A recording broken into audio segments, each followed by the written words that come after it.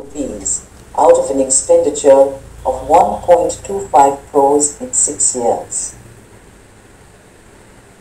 Based on the Banalal Committee report, the Anti-Corruption Department, ACD, Jaipur filed eight FIRs. Charges were filed against 18 people, including the BDO, several junior engineers, accountants, the Gram Sevak, and the Sarpanch. Four junior engineers and executive engineers.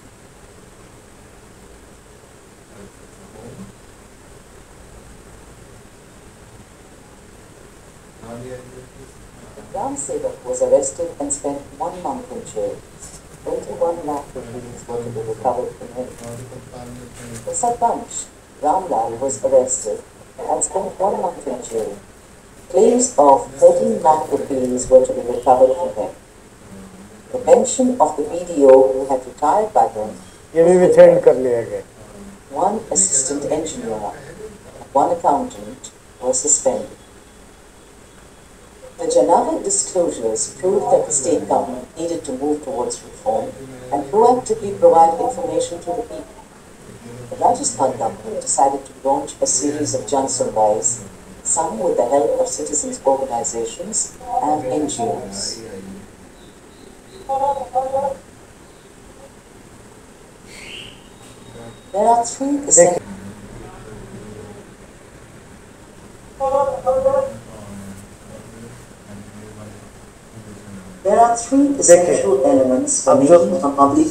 कैसे ये तैयार करते थे ये सभी NGO के लोग हैं एमकेएसएस के पहले जो इन्फॉर्मेशन है उसको ले करके उसको प्रिपेयर करना ताकि आम आदमी को समझ आए सरकार के सूचनाएँ जो होती हैं वो बहुत टेक्निकल टर्म्स में होती हैं दे दीजिएगा तो पता भी नहीं चलेगा गरीब आदमी ये तैयारी हो रहा है first is the preparation of documents and records for presentation. It entails the proper preparation of a comprehensive list of all the sanctions and expenditure made in the period under oath. The Rajasthan Panchayati Raj rules require देखिए, wall this painting. information be painted on the walls of the panchayat सारी योजनाओं के बारे में जो state expenditure है sanctions and expenditure allows citizens to be aware of development work that has taken place in their panchayat. Any major discrepancy is immediately noticed so that concerned people can ask for detailed documents. For purposes of a social audit, photocopies of all the documents related to the works being audited have to be made available. These would include the bills, vouchers, the labor muster rolls related to the works, the measurement books, and the utilization certificates. Presentation, summary sheets of labor, and material reveal how much money has been spent on each item, and how much each worker has been paid. This forms the basis of the public fund.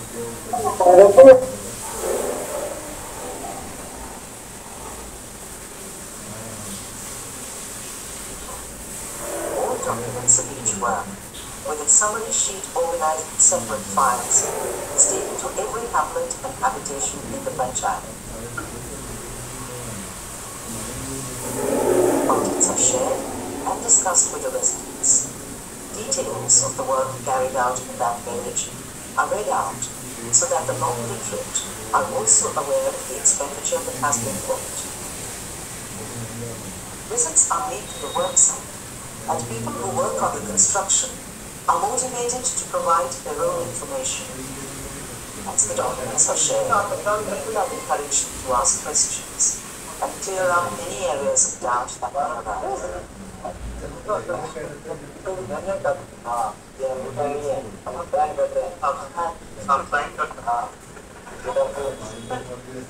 The date and location of the social audit are announced, and people are told देखिए ऐस- to ऐसा document develop करते and थे present their points of view if they want them to be reported and acted upon.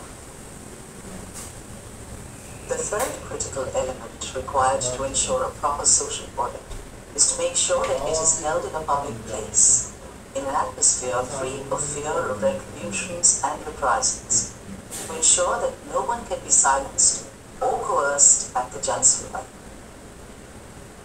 The efficacy of the Jansurai is dependent on open democratic debate by placing all the facts in the public domain and reducing the domination of the vested interests. When the administration insists that this process of open debate and public auditing will take place in regular intervals, citizens will find the courage to confront even powerful lobbies who now have to come to terms with a new world of democratic decision making. At points in time, resistance to this process will have to be met with a firm commitment by the administration.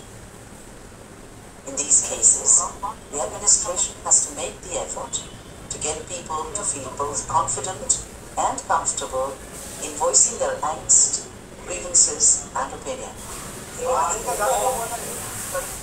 The true effectiveness of conflict the silence of the is misinterpreted as acquiescence.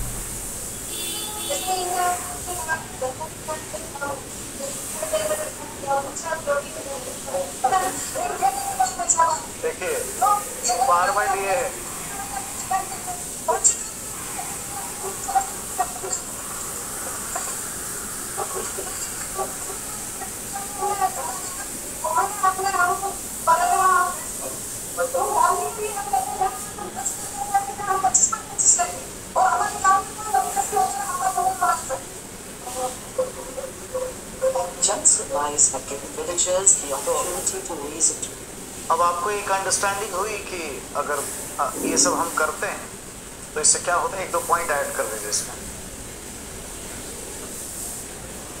हैं? तो अब पूरा वही सब वही सब है जो आप देख रहे थे।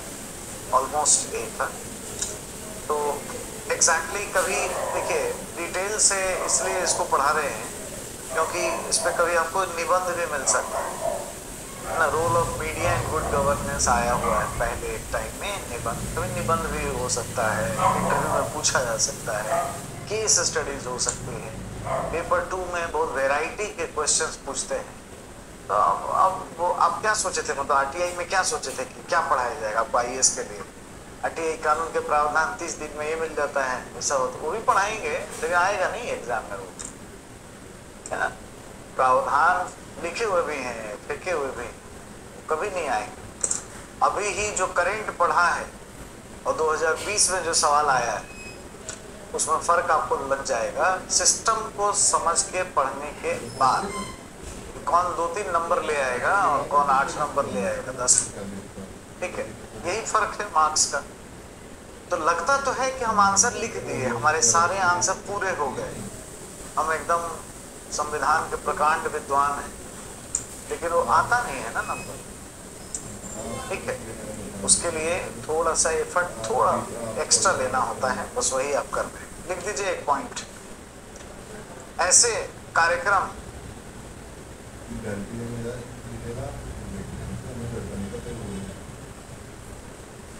ऐसे कार्यक्रम का लाभ यह है, लाभ यह है कि सामाजिक अंकेक्षण भी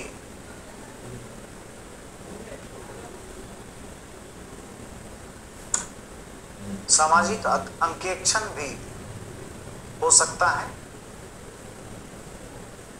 और,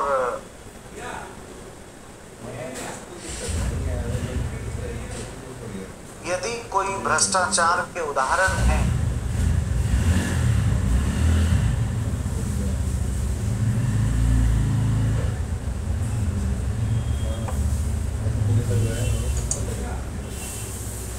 तो सरकार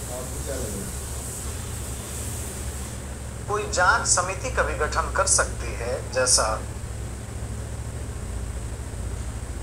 जाँच समिति का भी गठन कर सकती है, जैसा एमकेएसएस के प्रभाव में, मजदूर किसान शक्ति संगठन के प्रभाव में। राजस्थान की सरकार ने पन्ना लाल समिति का गठन किया था। राजस्थान की सरकार ने पन्ना लाल समिति। पन्ना लाल समिति का गठन किया था। जिससे यह जानने का अवसर मिला कि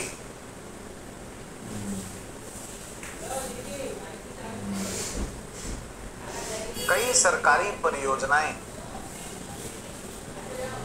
कागजों में संपन्न हो जाती हैं। कागजों में संपन्न हो जाती हैं।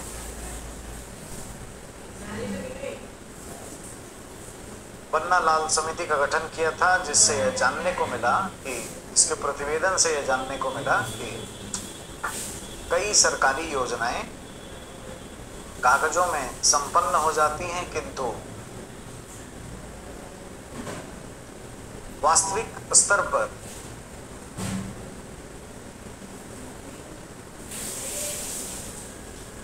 उसकी ठीक से शुरुआत भी नहीं होती। शुरुआत भी नहीं होती।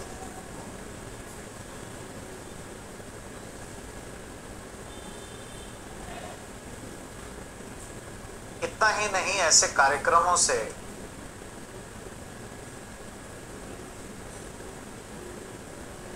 कम पढ़े लिखे नागरिकों, महिलाओं में भी।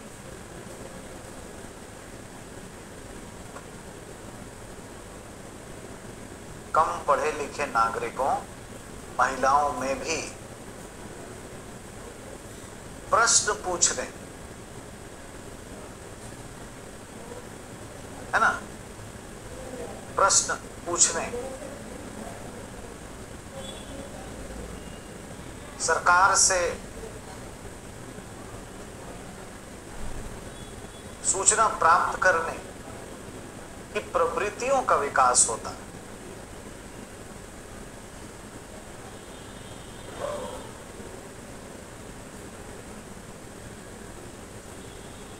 प्रवृत्तियों का विकास होता है। पैराग्राफ छोड़कर, अतः सिविल समाज के प्रभाव से ही तमिलनाडु में सबसे पहले तमिलनाडु में सबसे पहले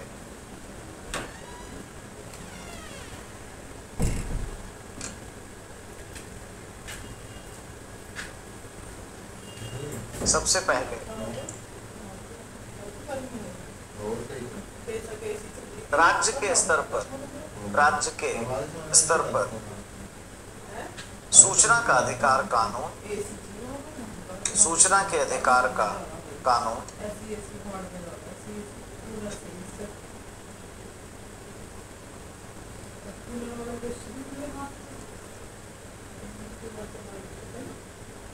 नाइनटीन नाइन्टी सेवन में पारित किया गया था।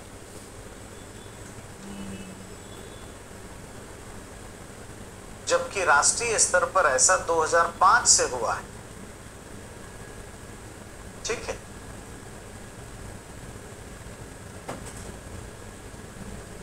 है ना? एक बात हमारी पूरी हो। सिविल सोसाइटी की क्या भूमिका होती है? इससे क्या हो सकता है? और ये कैसे आरटीआई आंदोलन में आपके पास केस स्टडी है? जैसे सवाल पूछेंगे, वैसे करने की स्थिति में सेकंड पेपर में आ जाए फोर्थ में आ जाए, कैसे भी हो, आप करने की स्थिति में। क्या रोल प्ले करें ठीक है? क्या हो सकता है, या एज एन एडमिनिस्ट्रेटर आप किस तरीके से एनजीओ को बढ़ावा देंगे और वो उसका क्या फ़ायदा होगा? अगर जन सुनवाई जैसे कार्यक्रम हम संचालित करते हैं तो क्या बेनिफिट्स हमें मिल सकते हैं? अब यहाँ पे बात करेंगे, सरकार या राजनीति के स्तर पर क्या हुआ। तो सबसे पहले संविधान सभा में एक प्रोफेसर थे, प्रोफेसर के टी शाह।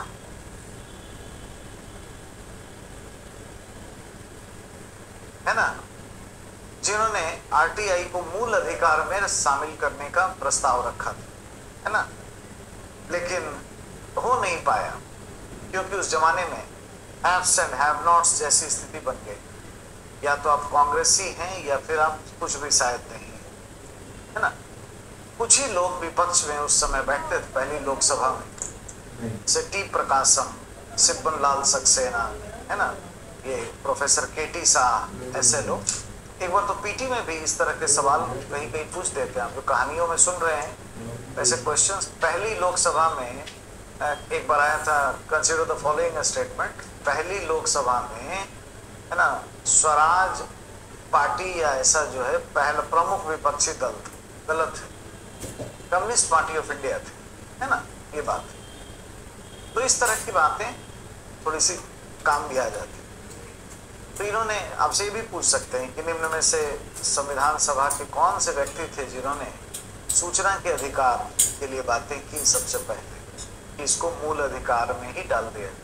इवन सेकुलरिज्म के लिए भी इन्होंने कहा।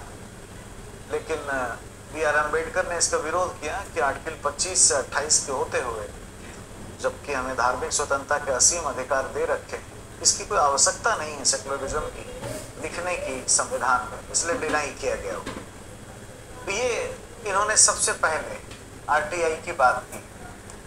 दूसरा, जो दूसरी बात जो बातें शुरू हुई, सूचना के अधिकार की, वो तब हुई जब 75 से 1975 से 77 के बीच में थोड़ा सा नागरिकों की स्वतंत्रता की चुनौती उत्पन्न हुई। बोलने की आज़ादी नहीं थी, आर्टिकल उन्नीस और ये सब दिक्कत थे, विपक्ष जेल में जा रहे थे, ऐसे देखो। यहाँ पर जेपी मूवमेंट शुरू होता है, जयप्रकाश नारायण का आंदोलन शुरू होता है। और संपूर्ण क्रांति का आंदोलन। और इस समय एक एनजीओ हेल्प कर रहा था। इसका नाम था people's union for the civil liberty जो आगे केस करता है और उसी के केस पर सुप्रीम कोर्ट का डिसीज़न भी आगे आता है। यहाँ पे बात हुई। तो जब ये आंदोलन चला तो एक नैरेटिव डेवलप हो गया कि आरटीआई जो है ना, के नाम पर कांग्रेस का विरोध किया जाता है। यानी एंटी कांग्रेसी ये नैरेटिव है, और ये बन गया एक तरह से। जब मोरारजी देसाई आए 1977 में तो उन्होंने एक कार्यबल बनाया, एक टास्क फोर्स डेवलप किया। ठीक है? तो कि भाई आप बताइए कि कैसे हम लोग चलें, आगे बढ़ें, और सूचना के अधिकार पे कैसे काम करें। टास्क फोर्स ने बड़ी अजीब सी सुझाव दी। उनका ये मानना था कि भारत में अभी समय ऐसा आया नहीं है। और ऑफिशियल सीक्रेट एक्ट 1923 का उसी को मजबूती से लागू करना चाहिए आरटीआई की ज़रूरत भारत में नहीं तो प्राइम मिनिस्टर क्या कर सकते हैं? आयोग ऐसा कह रहा है, इसमें आई अफसर बैठे होंगे। आई एस अफसर क्यों चाहेगा कि उसको परेशानी का सबब बने? बात खत्म हो गई। अस्सी के दशक में इंदिरा जी की वापसी होती है। इंदिरा गांधी जैसे ही आएँगी आरटीआई पे बात बंद हो जाएगी। क्यों? क्योंकि आरटीआई का मतलब गैर कांग्रेसी नैरेटिव इसे आज भी कैसे लोग कहते हैं फलाना तो बहाना है और ये निशाना है? ऐसा उस जमाने में भी कहा जाता जो भी आप आज सुनते हो आज से नहीं है पहले ही। से। भारत का ही यही एक तरह का कैरेक्टर है नेचर है, इसी तरह का। तो इसीलिए कुछ हुआ नहीं। अस्सी से चौरासी हम पहुँच गए। अब एक सुधारक प्राइम मिनिस्टर मिले जो बहुत सारे रिफॉर्म किए। ये भी कर सकते थे, लेकिन उन्होंने भी नहीं किया, क्योंकि पॉलिटिकल जो एटीट्यूड है माता जी से कुछ आया होगा। अब खाने के टेबल पे, हर जगह जो बात करते हैं, वही नैरेटिव आपका डेवलप होगा। और लंदन के पढ़े थे, है ना? ब्रिटेन में आपने देख लिया क्या हो रहा है। टाइम लगा। सेवेंटीज में एंड लेटर सेवेंटीज में पढ़े थे। लेकिन वहाँ पे भी नहीं हुआ कि उसे सीखते।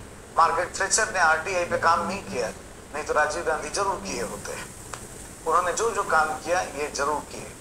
तो थेचेरियन इकोनॉमिक्स, राजीव इकोनॉमिक्स बन गया था। तो यही कारण है कि राजीव सरकार में भी ये नहीं हुआ।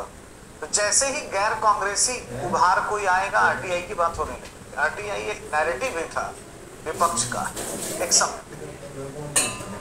एंड में जब 89 में इलेक्शन होता है और विश्वनाथ प्रताप सिंह जी ने वो फोर्स का मामला उठाया और कहा कि सरकार खुली होनी चाहिए। Government should be open transparent बड़े बड़े डील जो होते हैं, वो जानने का अधिकार नागरिकों को है और हम सूचना का अधिकार देंगे अगर आएँगे। लोगों ने पसंद किया, उनको जितवाया, भी गठबंधन आई जनता फैमिली की। और आप जानते हैं गठबंधन में क्या होता है? कि जब तो भाव से दिल है बेचैन, दिल्ली जाऊँगी उज्जैन तो क्लियर नहीं रहता है। तो उसमें हुआ कि अंतरात्मा की आवाज़ से वोट मांगते मांगते सत्ता ही चली गई आरटीआई पे कोई प्रोसेसिंग हो ही नहीं पाई। तो इस तरीके से विश्वनाथ प्रताप सिंह जी के टाइम में भी कुछ हम देख नहीं पाए। है ना?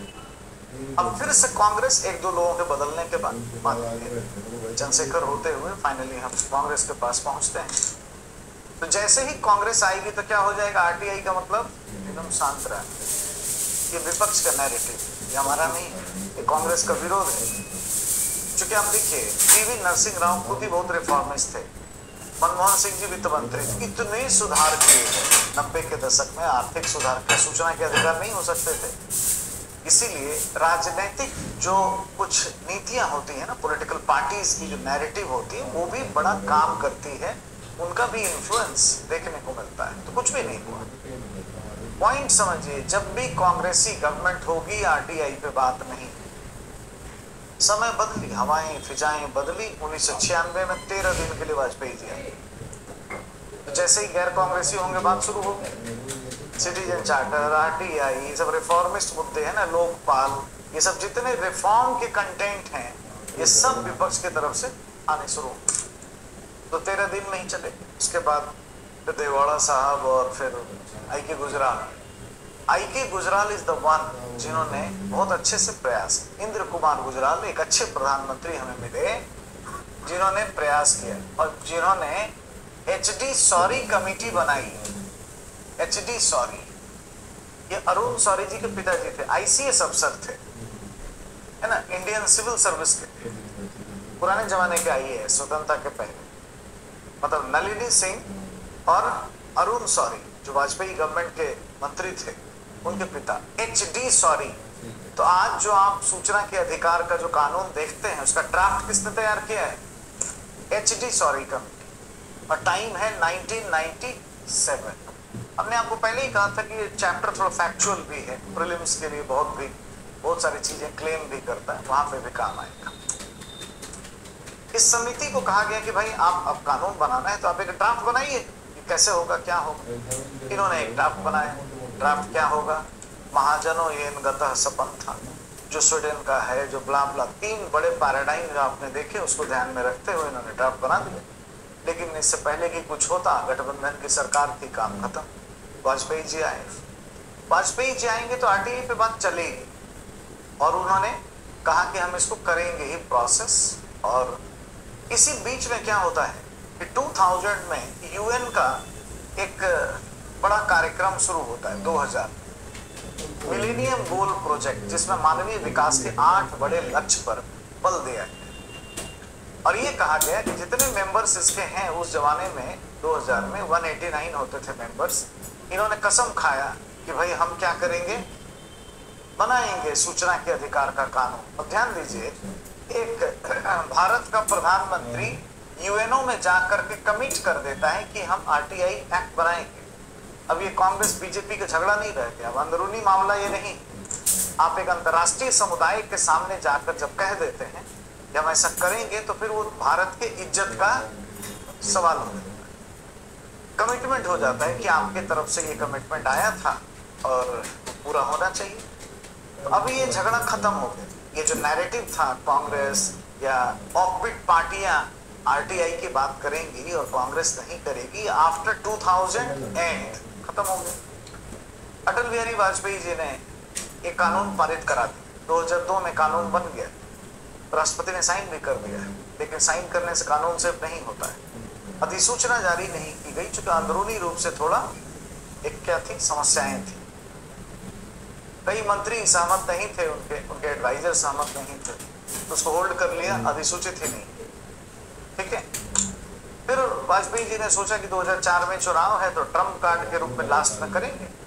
और चुनाव होने वाला था अक्टूबर में तेरहवीं लोकसभा तब तक इससे पहले कि वो कुछ करते उनके पॉलिटिकल एडवाइजर प्रमोद महाजन जी ने सुझाव दिया कि छः आठ महीना पहले ही लोकसभा बंद कर दीजिए। अभी ऑपरेशन विजय, पराक्रम, ये सब हुआ है। शाइनिंग इंडिया का प्रोसेस है। जीत जाइए आरटीआई बनता रहेगा। भाई राजनीतिक सलाहकार का पद पीएमओ में पहली बार भारत में बनाया गया गठबंधन को चलाने के लिए और उसके हेड थे प्रमोद महाजन। चुनाव हार भी गए थे, फिर भी कैबिनेट रैंक के मंत्री का दर्जा उनको दिया गया। ठीक है। हुआ ऐसे दो लोकसभाएँ हमने समय से पहले भंग की है ना? आ, एक तो चौथी लोकसभा इंदिरा जी ने ठीक है? उसके बाद चंद्रशेखर जी ने नवी लोकसभा तेरहवीं लोकसभा अटल बिहारी वाजपेयी तीन लोकसभाएँ हमने समाप्त की हैं समय से पहले। तो एग्जैक्टली इस तरीके से हुआ। और जब भी आप जानते हैं कि जब लोकसभा भंग होती है तो उसमें रखे गए विधेयक सनसेट लेजिस्लेशन से समाप्त हो जाते हैं। समाप्त हो गए ठीक है? और चुनाव हुआ, चुनाव पहले हुआ, फरवरी, मार्च में चुनाव हो अब जैसे होता है, तेरहवीं के बाद से साइकिल ठीक है। चौदहवीं, पंद्रहवीं मनमोहन सिंह जी ने चलाई, अब सोलहवीं, सत्रहवीं आप देख ही रहे हैं। है ना? अठारहवीं का भी इलेक्शन चूँकि बहुमत की सरकार है तो टाइम पे ही होगा। लोकसभा पहले पहले भंग होने वाली नहीं। हम्म। हाँ कहीं आगे ना बढ़ जाए, बस इसी का ख्याल रखें। ठीक है? तो फरवरी, मार्च में इलेक्शन हुए और जब आप पीटी वीटी देते हैं, यानी मई, जून में, उस समय मामले बदल गए। क्या सोचा गया था, क्या हो गया? और प्रकृति का चक्र देखिए। जो पार्टी आरटीआई का विरोध करती थी, उसी पार्टी को इसको लागू करने का श्रेय मिले। चुनाव हार गई एनडीए गवर्नमेंट और यूपीए गवर्नमेंट जीत गई। कांग्रेस लेड गवर्नमेंट फिर से आ गई। और अब चूँकि कांग्रेस बीजेपी की मामला है ही नहीं 2000 के बाद ये अंतरराष्ट्रीय मामला है, आरटीआई का काम। तो मनमोहन सिंह जी ने तत्काल रिफॉर्मिस्ट थे ही, प्राइम मिनिस्टर, इसमें कहा देरी है, और एक तो था ही एस डी सॉरी, कमेटी का बनाया हुआ ड्राफ्ट, उसी का नाम वाम चेंज हुआ। आप जैसे देखते हो ना, सेंट्रल इंफॉर्मेशन कमीशन, पहले काउंसिल था, कमीशन हो गया। जैसे पॉप म्यूज़िक वाले सब कैसे होते हैं? हिमेश रेशमिया। जैसे एक रॉक बैंड एक पॉप बैंड एक जैस का, एक गाँव का, है? और हरिओम हरिओम चालीस बार बोल दीजिए, गाना हो गया। रिमिक्स करके उसी को बनाया गया, क्योंकि वही अगर पारित कर देते तो होता कि भाई देखो, हमने मेरा वाला बनाया। हर पार्टी यही करती। दूसरे को करना होगा कि भाई उसको श्रेय ना मिल जाए। तो ऐसे ही कुछ चेंज वेंज किया गया, लेकिन वही ड्राफ्ट है जो एच डी सॉरी कमेटी ने ड्राफ्ट किया था। इसमें अरुणा रॉय जी का एडवाइस भी शामिल है केसेस की बड़ी भूमिका है है ना? तो ये हुआ और 12 अक्टूबर 2005 से हमारे पास माँ है मतलब कानून है। तो इतनी लंबी कहानी है। तो संविधान सभा से यहाँ तक की कहानी तक पहुँच गए अब ये कुछ कुछ क्वेश्चन इसमें से पीटीटी में आ जाएगा तो हम क्या करें? लिखना पड़ेगा। हमसे पूछ के तैयारी की होते आप तो कुछ और भी रास्ता होता तो लिखिए। पहला। ऊपर एक टाइटल दे दीजिए। राजनीतिक ऑब्लिक सरकार के स्तर पर पहल।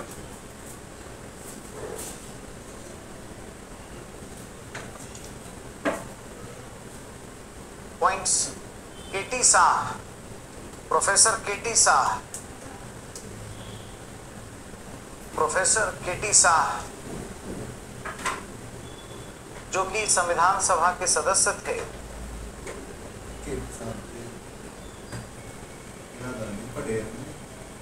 उन्होंने सबसे पहली बार उन्होंने सबसे पहली बार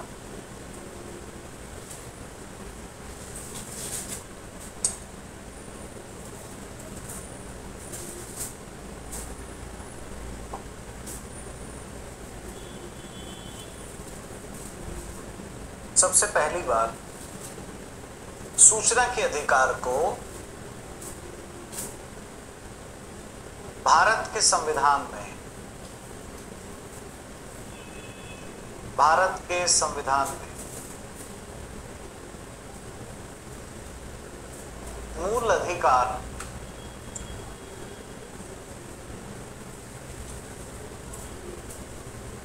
मूल अधिकार में शामिल करने का प्रस्ताव रखा।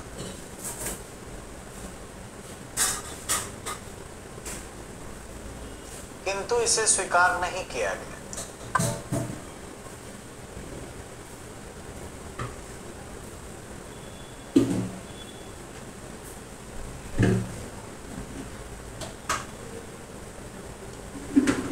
कृपया करके धीमा बोलिए, बहुत स्पीड में बोल रहे हैं, लिख नहीं पा रहे।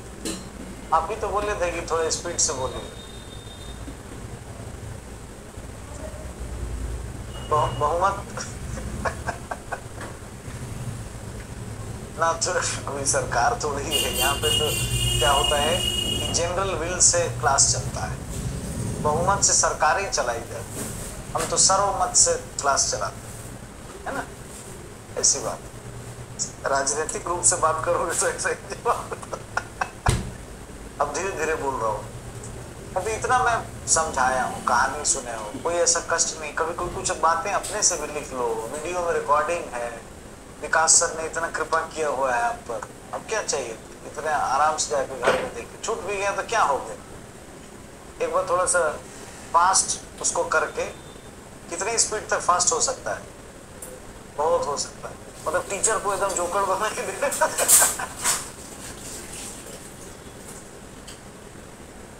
है वहाँ पे तुम लोग ये सब करते हो गए जाके।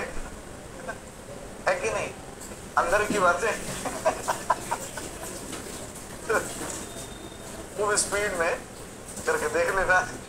तो ऐसा भी ये पॉसिबल है। ठीक है? चलिए। स्वीकार नहीं किया। दूसरा पॉइंट राष्ट्रीय आपात के दिनों में, अर्थात 75 से 77 राष्ट्रीय आपात के दिनों में, अर्थात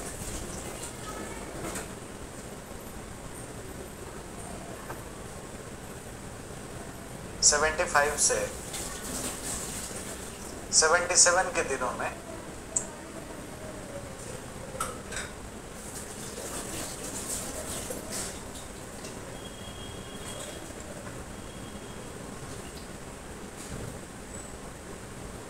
जयप्रकाश नारायण के द्वारा, जयप्रकाश नारायण के द्वारा पारदर्शी सरकार।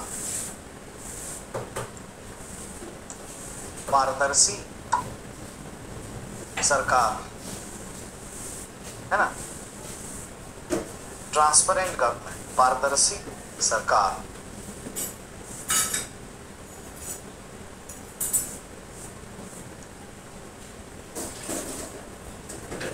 पर बल दिया गया और संपूर्ण क्रांति का आंदोलन, संपूर्ण क्रांति का आंदोलन।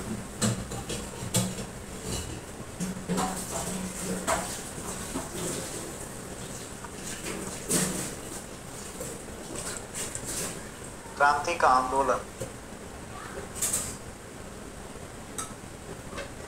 संचालित किया गया, जिसमें सूचना के अधिकार कानून। सूचना के अधिकार कानून।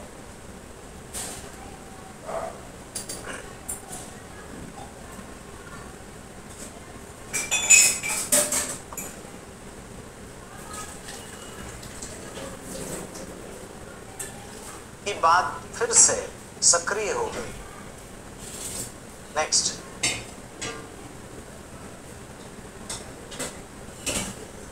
बोफोर्स डील के मामले पर अगला पॉइंट अगला पॉइंट बोफोर्स डील के मामले पर बोफोर्स बोफोर्स तोप था। बोफोर्स डील के मामले पर विश्वनाथ प्रताप सिंह के द्वारा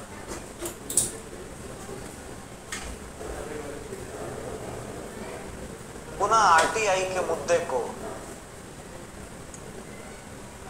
पुनः आरटीआई के, मुद्दे को। उठाया गया।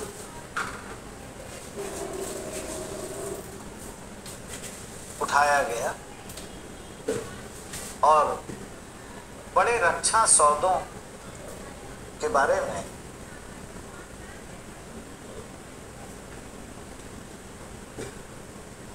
नागरिकों को जानने का अधिकार होना चाहिए। नागरिकों को जानने का अधिकार होना चाहिए। ऐसा प्रस्तुत किया गया।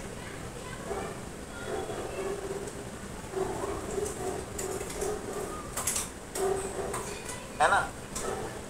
प्रस्तुत किया गया।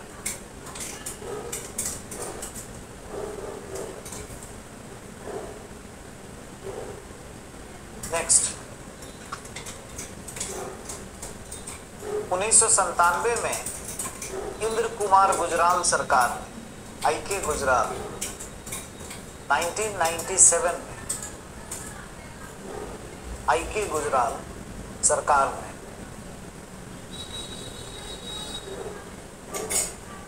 आरटीआई कानून, सूचना के अधिकार कानून, सूचना के अधिकार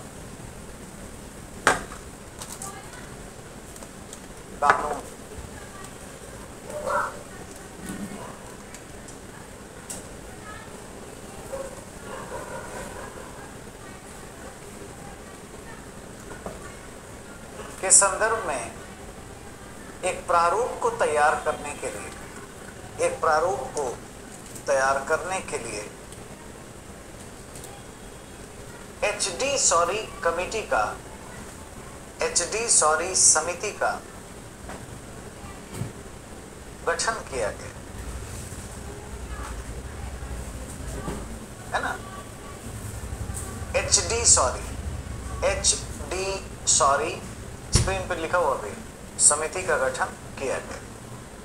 अब देखिए यूपीएससी वाले बड़े अजीब से सवाल बनाते हैं। निम्न में से सही कथन का चुनाव कर। डॉक्टर राजेंद्र प्रसाद संविधान सभा के, संविधान सभा में इस बात पर बल देते रहे कि आरटीआई को मूल अधिकार में शामिल करना चाहिए, पहला स्टेट। दूसरा एच डी सॉरी समिति, ऐसी समिति है जिसने आरटीआई का आरटीआई कानून का ड्राफ्ट दूसरी बार तैयार किया। कुछ कहीं फैक्ट्स कर दे। ना ही एक, ना ही दो से यूपीएससी को कुछ ज़्यादा प्यार। है उसके बाद एक, दो सही है। एक सही है, दो गलत है। कुछ इस टाइप से बना देंगे चार पाँच स्टेटमेंट उठाएँगे। इसमें अनगिनत फैक्ट्स भी हैं, अभी बहुत सी बातें करनी है, आज हो भी नहीं पाएगा। आपको आज जल्दी छुट्टी भी चाहिए। चाहिए कि नहीं? तो इसलिए ऐसी बात है। तो ये सब बात चलिए। क्या लिखे हैं? गठन किया गया चलिए, अगला अगला पॉइंट 2000 में नेक्स्ट पॉइंट 2000 2000 में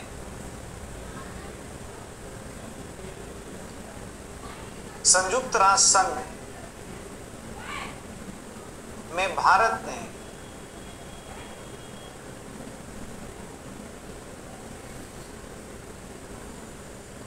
मिलेनियम लक्ष्य कार्यक्रम, मिलेनियम लक्ष्य कार्यक्रम मिलेनियम गोल कार्यक्रम, मिलेनियम लक्ष्य कार्यक्रम। इसमें आठ गोल रखे गए थे। मानवीय विकास के इकोनॉमिक्स वगैरह में पढ़ना है। है ना?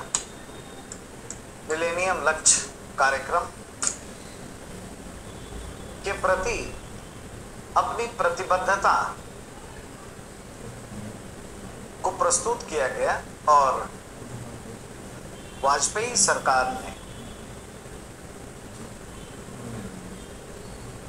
वाजपेयी सरकार ने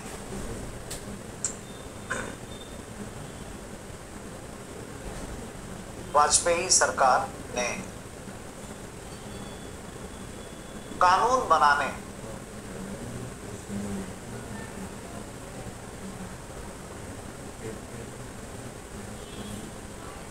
के प्रति की प्रतिबद्धता को अंतर्राष्ट्रीय समुदाय के समक्ष प्रस्तुत कर दिया।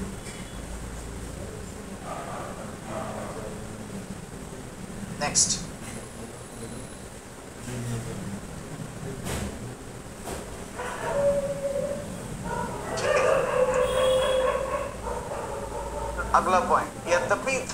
2002 में।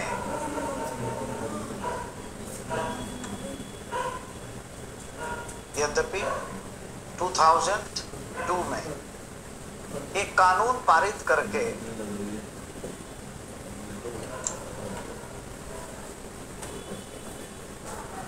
एक कानून पारित किया गया था, ऐसा लिख लीजिए कानून पारित किया गया था, किंतु उसे अधिसूचित नहीं किया गया। उसे अधिसूचित नोटिफाइड नहीं हुआ। और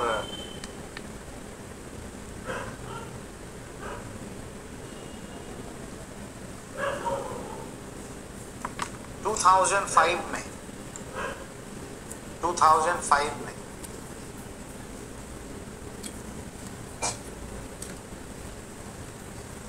मूलतः मूलतः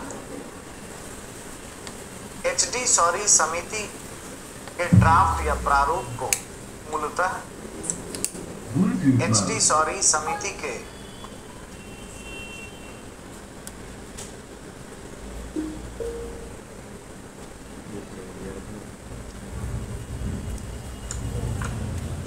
प्रारूप को सीमित संशोधन के माध्यम से पारित करते हुए 12 अक्टूबर 2005 से।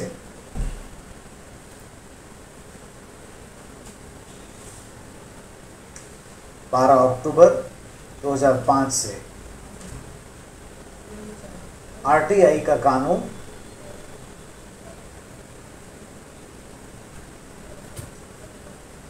लागू कर दिया गया है ना नीचे लिख दीजिए, न्यायपालिका की भूमिका। न्यायपालिका ने ऐसा कुछ किया नहीं है, एक पीआईएल बस ध्यान रखना। और वो है people's union for the civil liberty लिखिए न्यायपालिका के द्वारा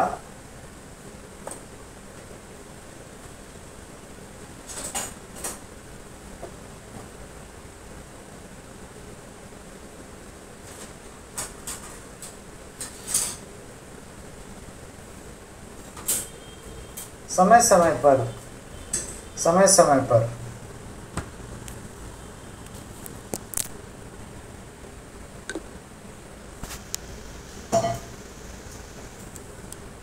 यह प्रस्तुत किया गया, समय समय पर यह प्रस्तुत किया गया, अगर सुप्रीम कोर्ट, हाई कोर्ट कहते रहे प्रस्तुत किया गया कि संविधान के अनुच्छेद 19 में ही।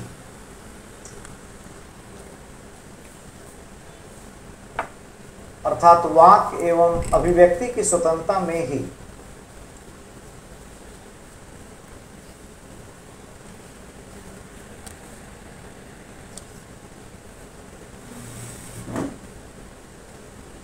जानने का अधिकार या सूचना का अधिकार अंतर्निहित है।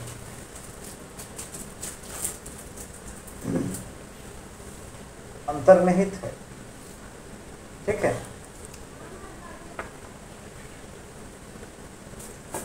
जैसे आप बोलते हैं तो बोलने का अधिकार तो किससे बोलोगे? दीवार से तो बोलोगे। नहीं किसी ह्यूमन बींग से बोलो।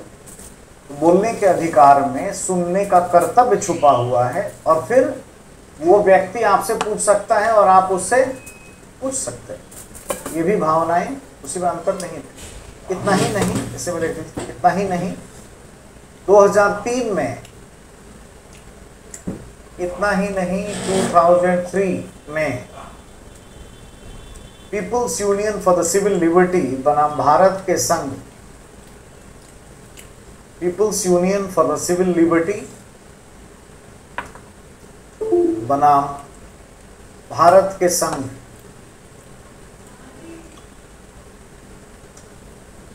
भारत के संघ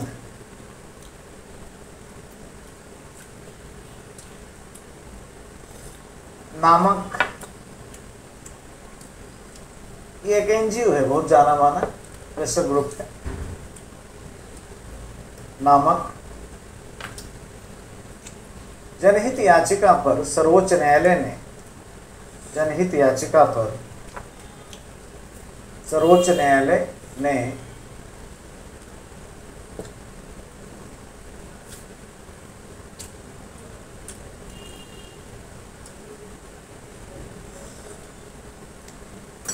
यह विचार व्यक्त किया कि नागरिकों को नागरिकों को अपने राजनीतिक प्रतिनिधियों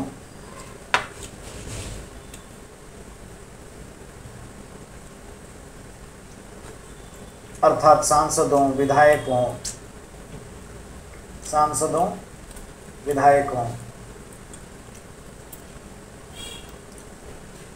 सांसदों, विधायकों के पृष्ठभूमि पृष्ठभूमि एवं उनकी गतिविधियों, पृष्ठभूमि एवं उनकी गतिविधियों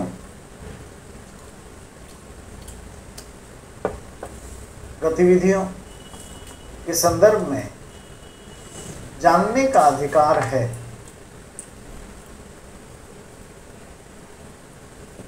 गतिविधियों के संदर्भ में जानने का अधिकार है। और इसका दर्जा इसका दर्जा अनुच्छेद 32 के संवैधानिक उपचार की भांति है।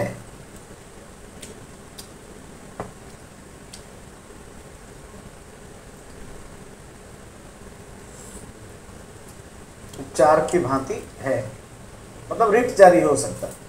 आप अगर चाहते हैं सुप्रीम कोर्ट इस मामले पर नहीं बता रहा है, आप गए, सवाल पूछे, सांसद से नहीं दिया अवॉइड कर रहा है तो फ्रॉम व्हाट वारंट और अथॉरिटी पब्लिक ऑफिशियल्स के अगेंस्ट में, ये सिर्फ़ आई के लिए नहीं, किस सत्ता से आपने ये गड़बड़ किया?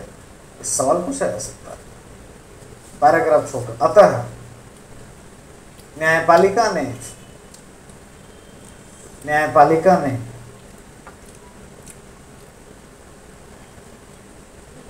हम्म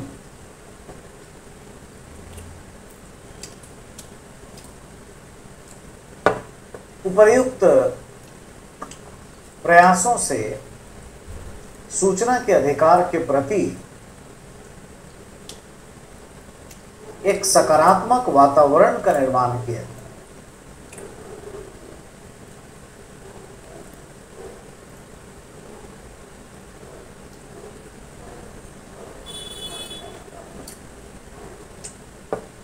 एक सकारात्मक वातावरण का निर्माण किया, जिससे आज भारत में भारत में सूचना के अधिकार का कानून देखने को मिलता है। ठीक है?